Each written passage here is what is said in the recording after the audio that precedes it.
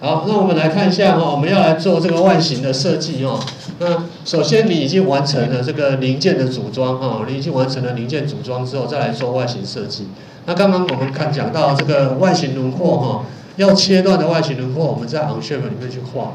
哦，那不切断的线条，我们在那个镭射切割的软体里面，RDWork 里面去画。哦，因为这个 RDWork 软体可以可以画线而不切断的哈。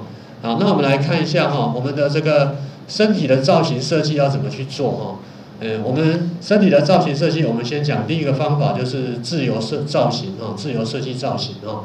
那我们可以打开 Onshape 的这个呃这个图档啊，老师给你们下载的图档啊。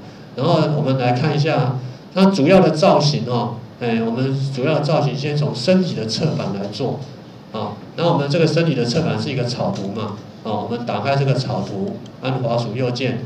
正视于草图平面啊，好，那这个外形的绘制呢，我们可以用这个不规则曲线来绘制它，啊，好，我们我们选择不规则曲线，啊，那我就很快的画一个，随随便便画一个东西好了哈，哦，不一定像什么东西啊，随便画，啊，那这就是不规则曲线，啊，那这个轮廓的话呢，这个轮廓要包覆我们的骨架，哦，包覆我们的骨架哈，然后这样。这是什么东西啊？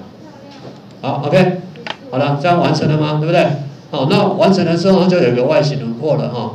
那这个外形轮廓完成之后，你可以去做一些调整。哎，不好意思哈，哎，这个地方是复原啊。外形轮廓完成之后，你把这个不规则曲线的功能取消。啊，那荧幕上的点哈，你可以再调去调它的位置，啊，去拉去动哈，去调它的位置，随便你，OK。好，那有一些形状呢，你会发现，哎，老师有些形状怎么不是我想要的？那怎么办？怎么拉都拉不到我想要的形状？那就表示你的点太少。好，那这个时候你可以加点，加点啊，好，加这个不规则曲线点。那你要加在什么地方都可以。哎，好，那你加上了一些点之后呢，我们再把它取消哈，取消哈，那接下来它就可以变移动的功能。啊，你加了一些不规则曲线点之后呢，它就会。有更多的弹性可以调整，这边，哦，那你可以看你的需要啊，加加上你想要的点，哦，啊也不要加太多了啊，加太多你会很难掌控，哦，那在加这些点的时候要特别注意一件事情哦，就是这个点尽量不要跟原有的点哦去做，呃，做一些对齐的哈，啊，你在刚在加点或在画点的时候，不要跟原有的点去做对齐的动作，不然它它们会联动哦。啊，会联动在一起哦。好了，那我现在就呃随便画了哈。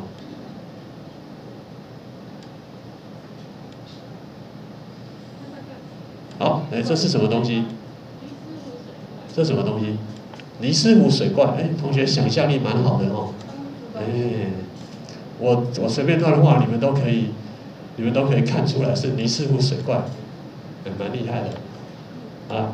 哦，是乱画的啊，纯粹乱画啊，因为我们节省时间，就画到这里就好了，啊，OK，好，那我画完了之后，对不对？这外形画完了嘛，哈，那我就按打勾，哎，打勾之后呢，哎，我们来看一下，我们来看一下组合图，哎，形状没改变呢，为什么呢？啊，为什么哈？因为我们画出来的草图哈，我们没有把它挤出来啊，所以各位同学请看一下哈。接下来这个挤出这个地方我们要修改一下哈，我们点两下打开这个挤出这个动作，目前挤出是不是只有挤出这些面而已？这些面有没有挤出？没有哈，所以我们在挤出的这个动作再把这个面再加进去，看出来了吗？多加了这个面啊，你把它这个再删掉，你就看得出来它的差异了。好，所以记得要把挤出的面再加它，哦，再加它之后呢，大家打勾，哎，这个形状就挤出来了。那我们回到这个组合图来看一下，有没有发现一个新的造型就呈现出来了？啊，你说老师这里怎么有个圆孔？这个圆孔是我们刻意安排的哈，因为我们以前没有没有做造型的时候，这个转轴怎么动怎么动都不会碰碰到，都不会去挡到哈。可是我们做了造型之后，这个转轴在转的时候，它必须要有个空间。啊，它必须要有活动空间啊，所以我们在这个侧板的这个草图里面，事实上已经有先画好这个圆啊。那这个圆的位置，请你不要去更动它啊，它的位置跟大小不要去更动它啊，那这样子呢就可以做成一个身体的造型了哈。哎，那有一些地方你可以自己再加，比如说你想要它有眼睛，好，那那你可以在那边加一个眼睛哈。哎，不过这边所加上来的眼睛哈，它是会挖空的哦，它不是画线哦。你看一下，它是会挖空哦。哦，那是会挖空这样子。哦，如果你想要的结果不是挖空，而是要画线，那你就要去 RDWork 雷切软体的地方再去加，这样了解吧？啊，你如果在这边加，它就是挖空。OK，好。会了哈，好，那这个就是这个这个编辑的功能哈。那这个草图的话，我们也可以把它删掉哈，删掉，删掉这样子哈。OK 哈，那老师刚刚有讲说，我们在画线的时候要特别注意，不规则曲线在画的时候哈，哎，你不要去不要去做到对齐的动作哈。哎，比方说你在画的时候呢，你不小心去做了对齐的动作，那他会他会以为你要对齐某个特定地方哦，哦，那这样有什么不好呢？